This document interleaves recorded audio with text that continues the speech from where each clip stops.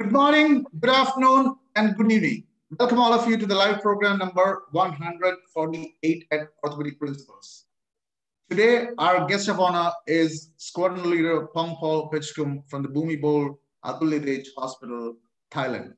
And also, we have Dr. Chayanin Angthong from Thailand. Dr. Pongpol Petchkum is an AO faculty and he regularly lectures for the AO courses in Thailand. And today he's going to enlighten us on how to improve outcome of pilon fracture treatment. Over to you, Pongpol. Hello, good evening, Professor Gopalan. Good evening, Dr. Chayanin. May I start? Okay, uh, my name is uh, Dr. Pongpol Petchkum from Bhumibol Adulyadej Hospital, Thailand. Today, uh, I will talk about how to improve outcome of pilon fracture treatment. Uh, the keys to success are concern of soft tissue injuries, apply stage protocol, evaluated fracture pattern, and proper surgical approach, and choose a good definite fixation and early range of motion. It is a severe injury, so the soft tissue injuries could be severe. There may be blisters, maybe clear filled blister, which is a partial thickness injuries there are the epithelial cells inside and rapid reepithelialization and less complication. The other is a blood filled blister, which is a full thickness injuries and involve papillary vasculature. So it gives us slow reepithelialization and increased complication. The management of blisters composed of uh, maybe sterile unroofing, sterile aspiration, or leaving the blister intact. But no evidence to support any method over another. But uh, you should avoid making incision through a blister, especially a blood-filled one. Next is about the uh, stage of surgeries. There may be one or two stage at primary surgery, uh, we do the uh, primary, uh, the one stage surgery that show a good result.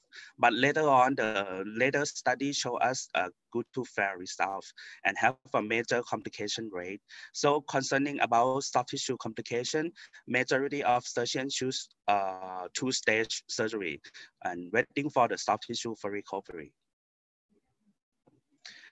about two-stage approach. The first stage is uh, temporary stabilization with uh, external fixation and waiting for adequate soft tissue condition. It takes time about 10 to uh, 14 days.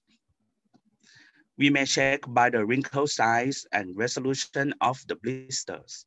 After the blisters gone, we can do second stage, which is uh, definitive internal fixation. Meanwhile, we can do CT scan to make a pre-op planning, which is very important. To evaluate the fracture pattern, we have a lot of classification. The classic one uh, is uh, Rüedi and Allgöwer classification. They use the displacement and degree of comminution to be a factor to consider. But there are poor intra-observer and poor inter-observer variation. So the next is uh, from AO. The classifies to be type A, which is extra articular, type B, partial articular, and type C, complete articular. And the newest one is about four column concept of uh, Professor Tang. They are divided the pilon to be anterior column, posterior column, medial column, and lateral column. Like in this case, we have lateral column included fibula fracture. Posterior column included Volkmann fragment. Anterior column included uh, Chaput fragment. And medial column included uh, medial malleolus. And we also have a die punch, uh, which is uh, impacted fragment that we have to bring it down. Next, we do uh, surgical uh, planning about the approach, positioning, implant, and reduction technique. We have a lot of surgical approach to get to each column. But uh, keep in mind that the skin bridge should be at least six centimeter to prevent the soft tissue complication. About positioning, for me, I may start with the prone position to address the posterior column and then turn patient to be supine and get to the anterior column. But you may use the flip over position too to save time. About the definite uh, surgery, we have a lot of choice. Maybe open reduction and internal fixation. Maybe minimally invasive surgery. Maybe intramedullary nailing, external fixation, or primary arthrodesis. The goal of surgery is uh, are the anatomic uh, reduction of the articular surface, uh, good alignment, uh, rigid fixation, and early range of motion. Open reduction and internal fixation still be mainstay of surgical treatment. We can go directly to see the articular segment and reduce it. And we can manipulate the impacted fragment also. But uh, this may be the second soft violation for the patient. So we should uh, uh, choose the proper surgical incision. The classic principle of Rüedi and Allgöwer tell us to do plating of the fibula to gain length, articular reduction and reconstruction, bone grafting, and medial buttress plate. But uh, only medial buttress plate may be not enough for the coronal fractures and anterior comminution. Like in this case, only medial plate, uh, we will miss the Chaput fragment and miss the Volkmann fragment also. So we come to the next uh, concepts about uh, uh, four column concept, give us general, uh, general principle. principle.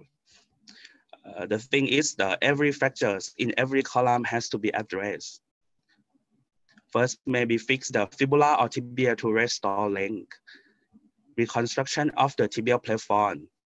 Autograft, internal fixation, and early range of motion. Uh, about reduction, the distraction of tibio-talar joint is helpful in reduction by the ligamentotaxis. We may use external fixator, femoral distraction, or calcaneal traction. But keep in mind that the impacted fragment uh, still be there. We have to open and bring it down directly because no ligament attached to it. About the sequence of fixation, in the simple fracture of fibula, fibula may be done first and it will help to reduce the alignment of the tibia to in case of intacted AITFL or PITFL.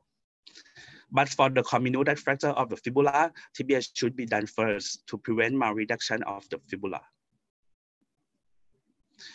And about sequence of tibial reconstruction, for partial articular pattern, we may reduce articular fragment to the stable column. But for complete articular pattern, we will turning C type into A type by reconstruction the articular segment first and then fix articular blocks to the metaphyseal segment.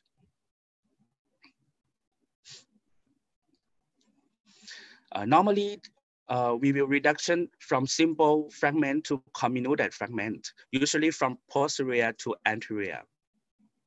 When we go from posterior, looking for the posterior cortical spike, which is the key because you cannot see the articular surface from the posterior, but this one you will see it. Reducing them will reduce the joint surface too. But beware about the screw from posterior. Don't make it too long to catch the anterior column because uh, you will cannot uh, close the anterior column. For fixation of the posterior column determined by um, fragments, size, and fracture extension. For split fragments, you may go from anterior. Use a lag screw from anterior to posterior. But for a complex fractures, you may go from posterior and put the posterior buttress plate. And fixation of the anterior column. For a simple fracture, we may use the posterior to anterior screws. the medial plate add on with the screws or the anterolateral plate in case of comminuted one. For fixation of the medial column, we may use buttress plate, medial malleolar screws, or tension band wiring in case of small fragment.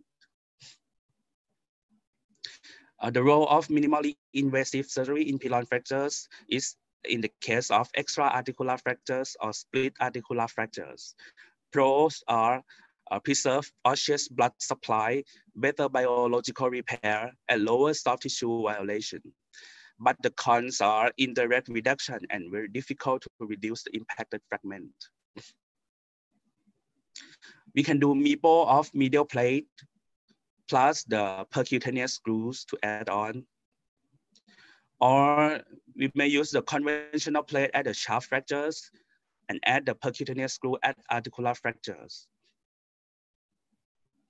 We may do mini open at the articular fragment and use the Hintermann retractors and reduce the articular segment and put a small buttress plate. Or we also can do MIPO of the medial plate plus the MIPO of the anterolateral plate also. So uh, take home message, uh, to get the good results, we have to concern about the soft tissue injuries, apply stage protocol, uh, evaluated fracture pattern, a proper surgical approach, and choose a very good choice of the definite fixation, and let the patient uh, early range of motion, and you will give the good result. Thank you very much for your attention. Thank you, Dr. Pongpol. Uh, may I request uh, Dr. Chanin Angthong to share his screen?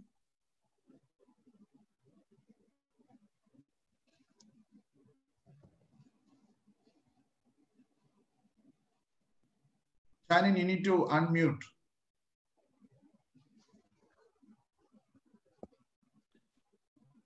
All right. Thank you so much, uh, Professor Gopalan, for this invitation. Um, I would like to present about the case discussion. Um, a 34-year-old male uh, fall from height. Uh, he had a pain at the ankle area and limited range of motion due to pain. He had no wound, open wound or distal neurovascular injury. And you can see uh, the, the fracture over here. It is the pilon fracture interarticularly, as you can see in the AP and the lateral X-ray. And in this case, you can see from the CT scan,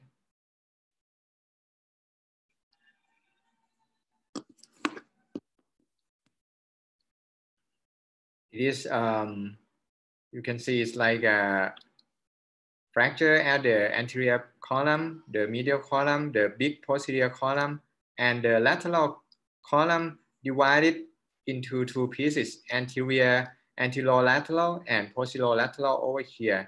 In accordance to the column um, classification, I think it's like a variant of the four columns because the lateral column divide, was divided into anterior and posterior, uh, posterior, anterior, posterior, anterolateral and posterolateral fragment.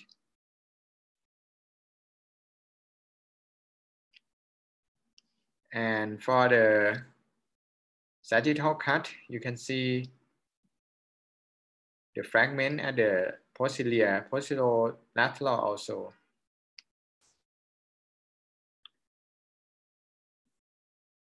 And this is the coronal cut. You can see that uh, the medial fragment is quite big, but the lateral fragment is quite comminuted.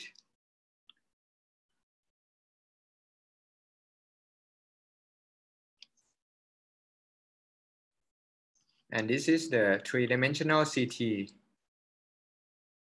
can see the big, big posterior, posterior uh, medial and cover to the posterior medial fragment but you can see the fragment over here, the, the um, fragment. And the comminution over here. And over here also, the anterolateral fragment, and this is the anterior fragment. So in this case, um, we may think about the initial treatment and the definitive treatment in accordance with Dr. Pongpol's lecture. Um, we respect the condition of the soft tissue.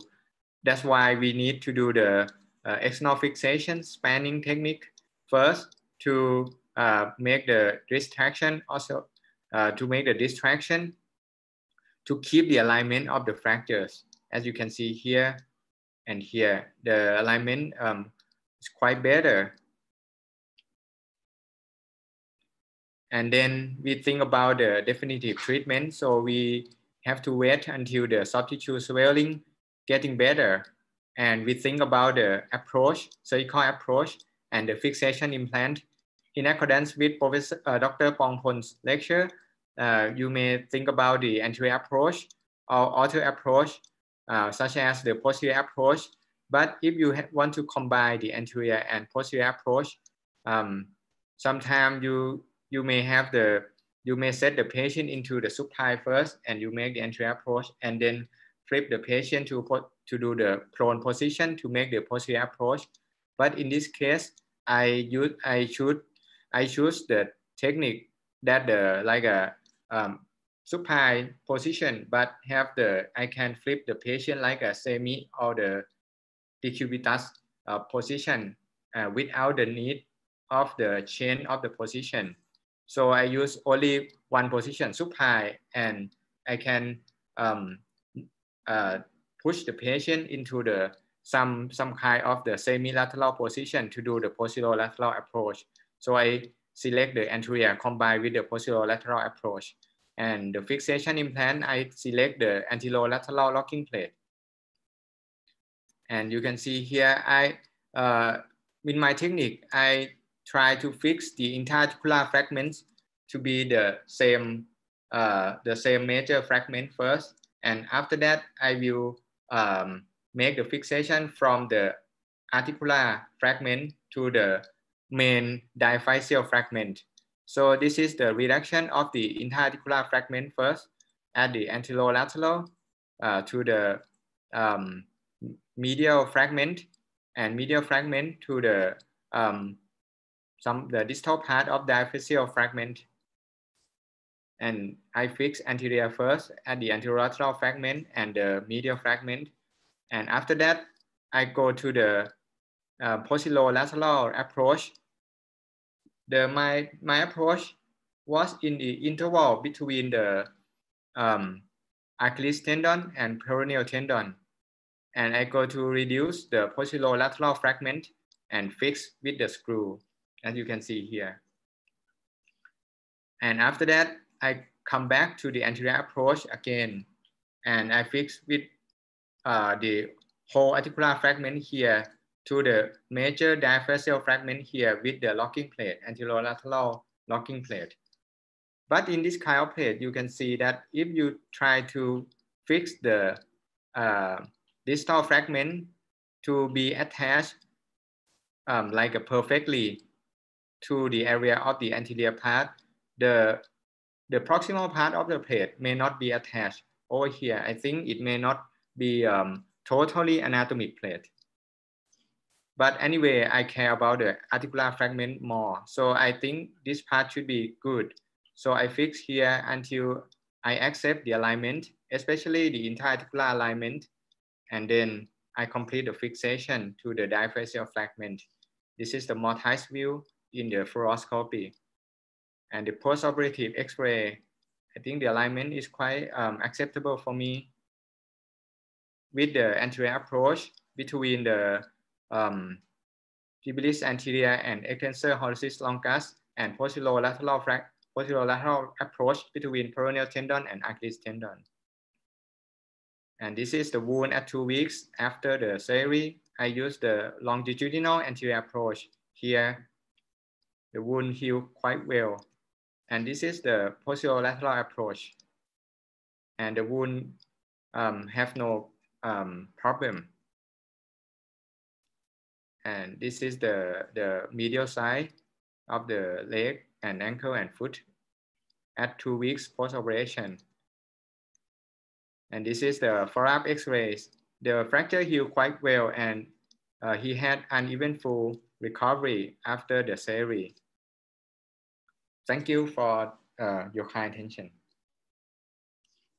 Thank you, Chayanin, uh, for that wonderful uh, case presentation as well.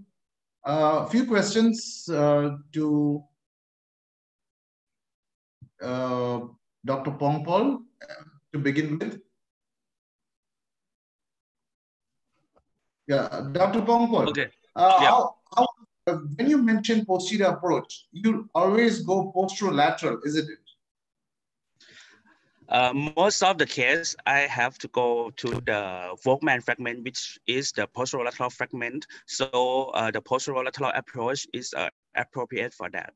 But in the case that the, the fragment go medially, sometimes I have to go posteromedial, but it's very small case for that. And when you go posteromedial incision, how would you uh, place the plate? Or which is the plate that you can comfortable with? Because there is the uh, contents of the flexor retinaculum there putting a plate there. I mean you can put a plate but what is the profile of plate that you would choose no, normally at the posteromedial, medial, I will put the medial plate buttressing. But if I need to fix at the posteromedial, medial, I will fix with the low profile uh, screws, not, not the plate. I, I never use the plate for that. Open it for reduction, normally. Okay. And uh, do you think that, see, suppose a patient has a fibula fracture and also an anterolateral fragment. Do you think that can be approached with a single incision, single anterolateral incision? Yeah, um, in, in my opinion, if you do only one incision, the anterolateral incision has to be very long, longer than normal if you want to fix the fibula also um, so, some case we have to do lateral approach, through lateral approach and make it a big incision. And we can go through the anterolateral fragment also. I think maybe if you choose one, uh, one uh, incision, the lateral approach extended may be more appropriate in, in my opinion.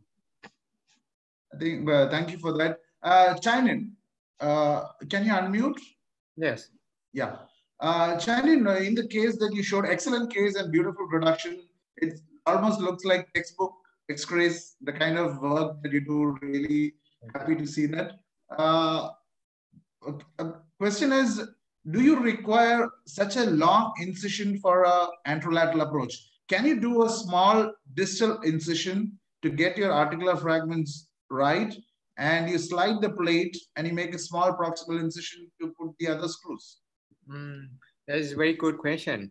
Um, I think um, it, it is possible, but um, in in my opinion, sometimes when when we fix at the distal part and and we, we, we get it like a good reduction already and we try to fix it with the main diaphyseal fragment, we have to um, put the plates put the press underneath the muscle and, and the area of the anterolateral part of the leg, of the distal leg is filled with, I think it's bulky muscle. It's a bit difficult to, um, to make the uh, screw fixation, but actually we can, but um, we, I think we, we may have the, uh, some, disturb, some disturbance from the bulky muscle, but actually uh, we, we can try, I think. It and uh, yeah, thank you for that. How often do you do an anterolateral plate compared to an anteromedial plate? Oh, okay. Um, anterolateral. I know, I know it's based on the fracture fragment. I agree to that, but how often? Oh, okay, okay, gotcha. Um, actually, uh, I I did this approach almost like at 80% of my cases because I have the basic from the total ankle replacement with the anterior approach. So I'm quite familiar uh, with this approach and I think we can see both sides, the lateral side and medial side. Sometimes I can dissect until I see the medial, medial side of the medial malleolus. So I, I'm quite familiar with, with this approach. Now, a question to both of you, uh, Dr. Pongpol and Tylen. See, I've used both these approaches. And what I find is whenever I use the anterolateral approach, problem is I put a plate, I strip a lot of these muscle from the bone. And the problem is when you do that, on the medial side, you already, you do not have muscle. Okay, so you're entirely relying on the musculature or the blood supply to the bone from the posterior side. So I have found that uh, the anterolateral approach devascularizes the bone more compared to the anteromedial. What is your take on that? Mm. Um, Pongpol, you can answer first. Yeah, yes. Uh, for me, I think the the the anteromedial or the medial approach, I think it has a skin, uh, very thin skin. So uh, sometimes if we put the plate on, uh, sometimes it will have a skin complication or irritation. For me, I, I, I if I can, I will choose to put the plate on the uh, lateral side for me. And the thickness of the muscle will, uh, will be we, we, have a less uh, soft tissue complication, but beware of the proximal part of the plate. Sometimes it will uh, compress to the vascular or the nerve. So I make a split incision at the end of the, the plate to see surely that no vessel or nerve beneath the plate. Yeah. I think I think um the Pongpol's idea is quite good.